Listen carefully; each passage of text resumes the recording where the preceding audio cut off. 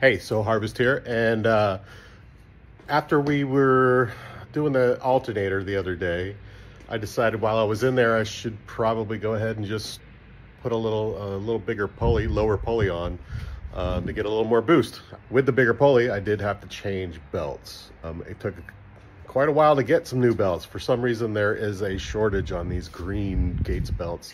Um, I don't know. They, and they're expensive.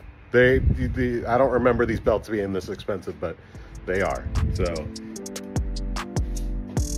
had to get a couple of them because I'm not exactly sure what size I'm gonna need, but um, we're gonna find out right now.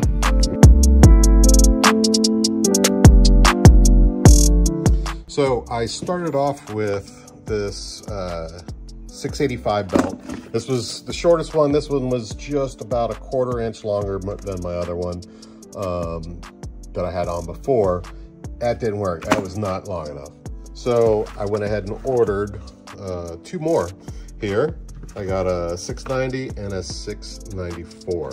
Now I, I'm pretty sure it's gonna be this longer one, but I got this other middle side in between the two. Just, if it fits, a little tighter belt is always good for the supercharger.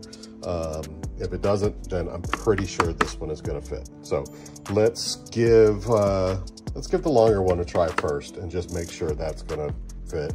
And then uh, we'll go from there. So first things first, we've got to route the belt around the lower pulley.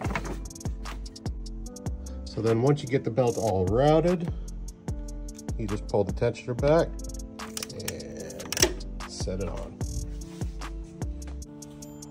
All right, so once you get the belt on, um, there's a couple marks here on your tensioner that you want to pay attention to.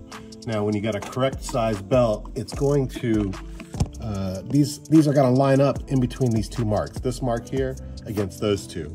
Um, and it's typically going to be somewhere in, in between them. Um, the tighter the belt, it's going to be towards this one on the bottom.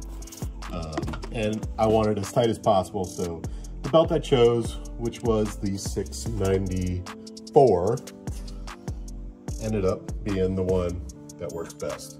Um, I could have gone with one that was a little bit little bit shorter it would have been a little bit tighter but it, then it puts it outside of that range I, uh, I'd rather just stay right right where it should be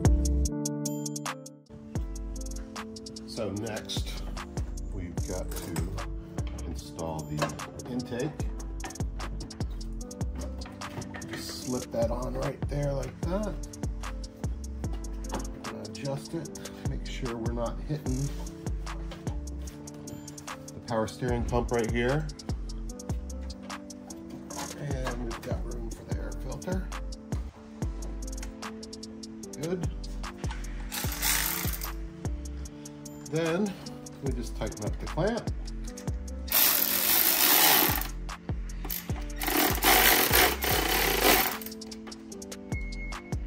good, doesn't need to be too tight. It's secure. Then, next thing we need to do is connect our meth water fittings.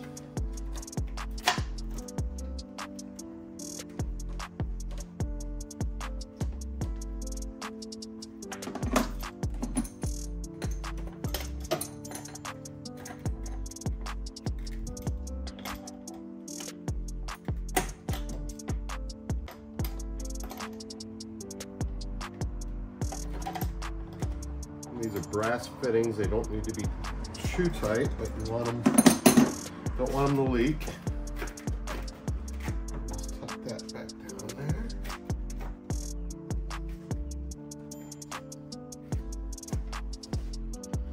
Then we just plug in all our sensors and vacuum line,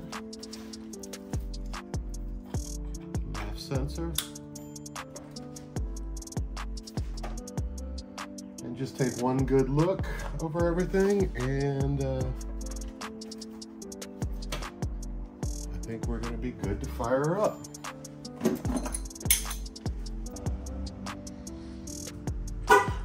All right, so let's give her a start.